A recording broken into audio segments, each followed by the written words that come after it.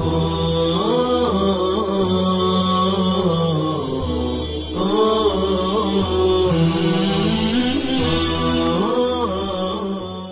الله الرحمن الرحيم الحمد لله وكفى وسلام على عباده الذين اصطفى أما بعد محترم سامعین اور عزیز طلباء عظام آج ہمارا مختصر نفعت العرب کا نواں سبق ہے۔ اب تک آٹھ سبق ہو چکے ہیں۔ آج ہم پڑھیں گے القسم التاسع فی ومضات من سیرت النبی صلی اللہ علیہ وسلم۔ ہم نے شروع مقدمے میں ہی تقریباً دوسرے سبق میں وضاحت کر دی تھی کہ ہمارے یہاں یعنی جامعہ عقل میں نفع مختصر نفحت العرب کا نصاب اس طرح ہے کہ پہلے القسم الاول پڑھائی جاتی ہے، اس کے بعد بیچ میں القسم الثامن القسم الثامن یعنی آٹھ باب تک سات ابواب کو بیچ میں چھوڑ دیے جاتے ہیں۔ اس کے بعد ڈائریکٹ القسم التاسع فی ومضات من سیرت النبی صلی اللہ علیہ وسلم سے پڑھایا جاتا ہے۔ تو ہم نے بھی القسم الاول مکمل ہونے کے بعد القسم الثانی سے لے کر القسم الثامن تک، آٹھویں قسم تک کو چھوڑ دیا ہے نصاب کے تحت اور آج ہم شروع کر رہے ہیں القسم التاسع فی ومضات من سیرت النبی صلی اللہ علیہ وسلم، کہ نبی قسم یہ آپ صلی اللہ علیہ وسلم کی سیرت میں ہے۔ تو شروع کرتے ہیں، دیکھیے یہ اس کے عناوین ہیں اور اس کے بعد شروع ہوتا ہے یہاں سے یہ۔ قال حسان رضی اللہ تعالی عنہ فی مدح النبی صلی اللہ علیہ وسلم۔ حضرت حسان رضی اللہ عنہ کے آ حضور صلی اللہ علیہ وسلم کے حق میں مدحیہ اشعار۔ آپ لفظی ترجمہ کریں گے۔ قال حسان، حضرت حسان رضی اللہ عنہ نے کہا فی مدح النبی صلی اللہ علیہ وسلم، آپ صلی اللہ علیہ وسلم کی مدح میں، آپ صلی اللہ علیہ وسلم کی تعریف میں۔ مشہور شعر ہے، دیکھیے۔ وَأَحْسَنَ مِنْكَ لَمْ تَرَقَتُ عَيْنِي وَأَجْمَلَ مِنْكَ لَمْ تَلِدِ النِّسَاءُ، خُلِقْتَ مُبَرَّأً مِنْ كُلِّ عَيْبٍ كَأَنَّكَ قَدْ خُلِقْتَ كَمَا تَشَاءُ.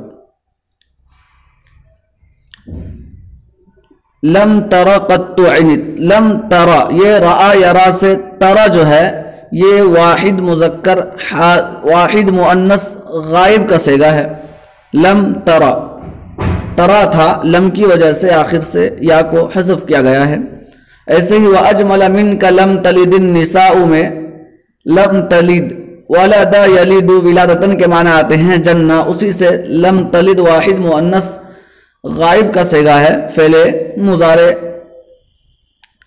خلقت مبرعا من کل عیب خلقت آپ کو معلوم ہے، فعل ماضی مجہول ہے، واحد، مذکر، حاضر کا سیگا۔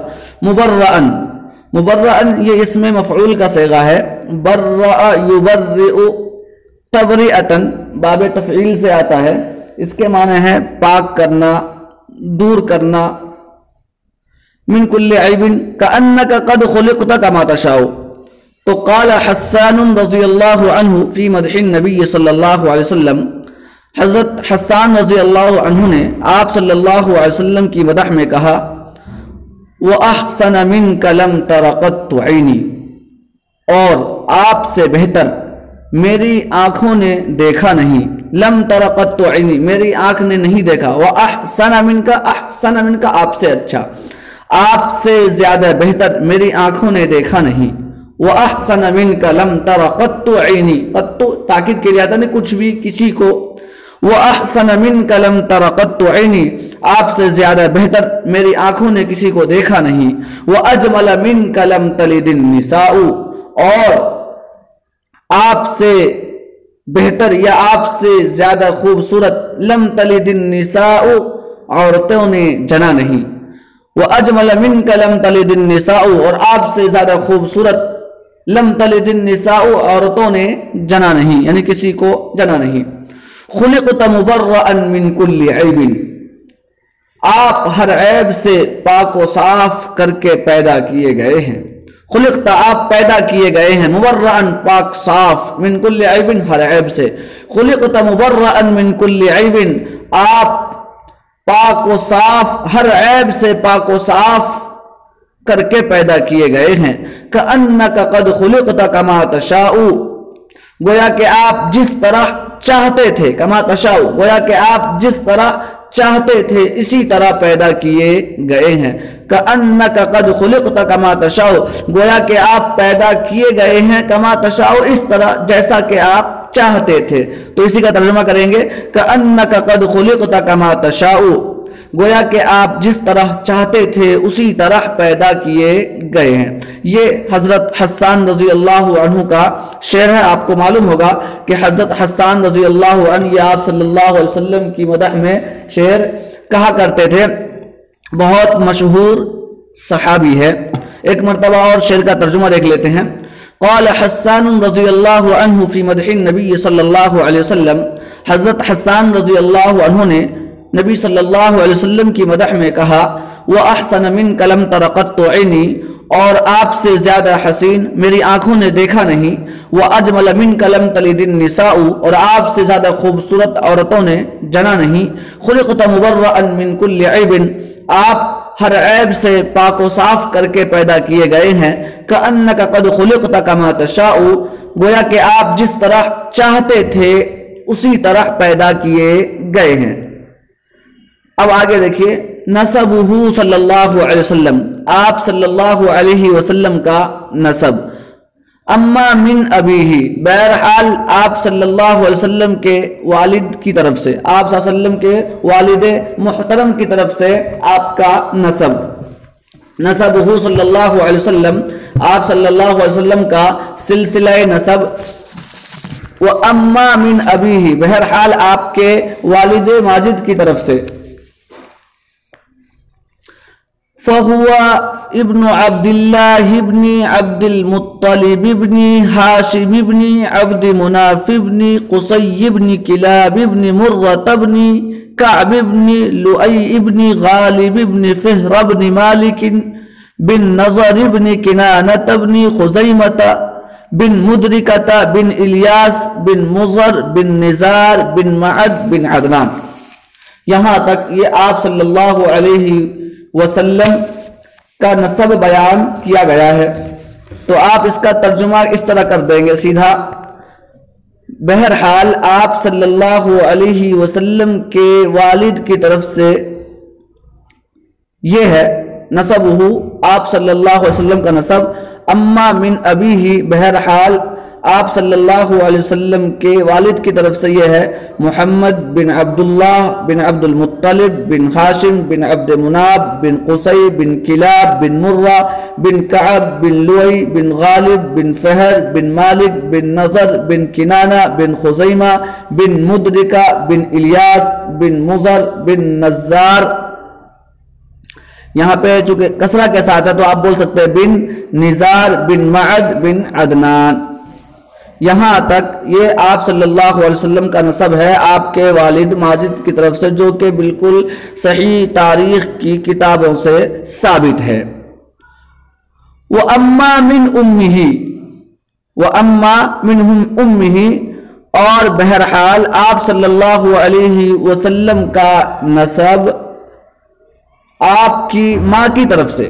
وہ اما من امہی اور آپ صلی اللہ علیہ وسلم کا نصب آپ کی والدہ ماجدہ کی طرف سے۔ فہو ابن آمینتا بنتی وحاب ابن عبد مناف ابن زہرت ابن کلاب۔ تو وہ یہ ہے، وہ اما من امہی اور بہرحال آپ کی والدہ کی طرف سے تو وہ یہ ہے، محمد بن آمینہ بنت وحب بن عبد مناف بن زہرہ بن کلاب۔ ففی کلاب یجتمع نسبه من الطرفین۔ پس آپ صلی اللہ علیہ وسلم کا نسب ففی کلاب کلاب بن مرہ پر یجتمع جمع ہو جاتا ہے من الطرفین دونوں طرف سے۔ ففی کلاب یجتمع من نسبه من الطرفین۔ پس کلاب بن مرہ پر آپ صلی اللہ علیہ وسلم کا نصب جمع ہو جاتا ہے من الطرفینی دونوں طرف سے۔ کیا مطلب؟ آپ صلی اللہ علیہ وسلم کے والد ماجد کی طرف سے جو نصب بیان کیا گیا، وہاں پر دیکھ رہے ہیں آپ کلاب ابن مرتا بن کعب بن لوئی۔ تو کلاب کے آگے جو نصب ہے، وہی نصب یہاں والدہ کی طرف سے جو نصب بیان کیا گیا۔ اس میں بھی کلاب کے آگے وہی نام ہے۔ یعنی کلاب بن مرہ بن کعب بن لوئی۔ تو گویا کلاب پر آ کر کے آپ صلی اللہ علیہ وسلم کا نصب دونوں طرف سے ایک جیسا ہے۔ والد ماجد کی طرف سے بھی اور والدہ ماجدہ کی طرف سے بھی۔ تو یہ آپ صلی اللہ علیہ وسلم کا مختصر نصب نامہ ہے جو ہم میں سے ہر ایک کو یاد کر لینا چاہیے۔ آگے دیکھیے، وفات ابی ہی صلی اللہ علیہ وسلم۔ آپ صلی اللہ علیہ وسلم کے والد ماجد کا انتقال، وفات ابی ہی، آپ صلی اللہ علیہ وسلم کے والد ماجد کا انتقال۔ تزوج ابوہ عبداللہ امہو آمینتا تزوج، معلوم آپ کو تزوج یا تزوج، تزوجن کے معنی آتے ہیں، شادی کرنا، نکاح کرنا۔ ابوہ فائل ہے، اسی لیے حالت رفعی میں ہے۔ ابوہ عبداللہ۔ امہو آمینتا یہ مفعول ہے اسی وجہ سے منصوب ہے فحملت به صلی اللہ علیہ وسلم فمات عنہ وهو في بطن امه حملت یہ حملا یحمل حملا جب فائل المرأہ ہو تو مراد ہوگا حاملہ ہونا حملا یحمل حملا فائل جب مرأہ ہو عورت ہو حملت المرأة، تو ترجمہ کیا کریں گے اس کا؟ حاملہ ہونا۔ فماتا ماتا یموت، موتن کے معنی مرنا، آپ کو معلوم ہے۔ فی بطن امی بطن ان کے معنی پیٹ، امن کے معنی والدہ۔ ولم یورث مالا ولا ارزن یورث، اورث، یورث ایراسن اسی طریقے سے یہ ورث، یورث توریثن دونوں سے آتا ہے، اس کے معنی آتے ہیں وارث بنانا۔ مال کے معنی مال ارزن ارز جمع، عروض کے معنی آتے ہیں متا یعنی سامان۔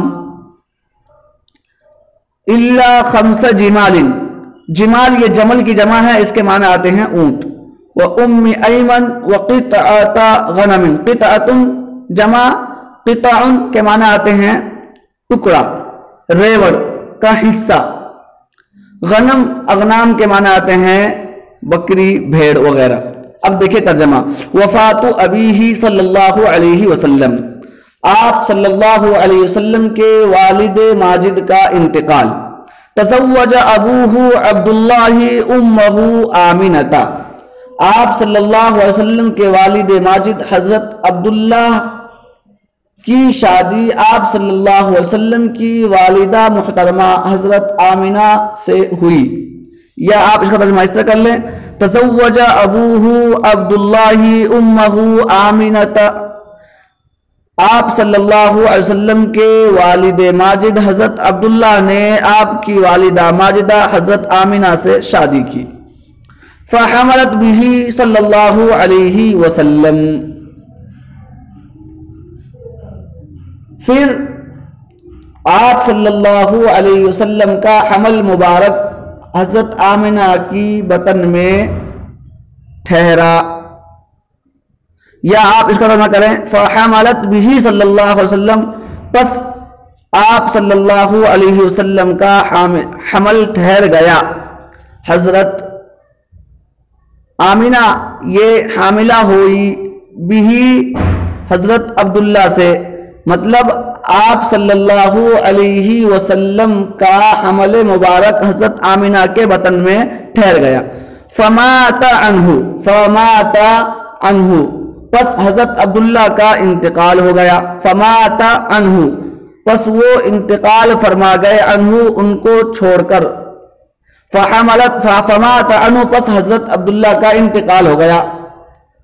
عنہ آپ کو چھوڑ کر۔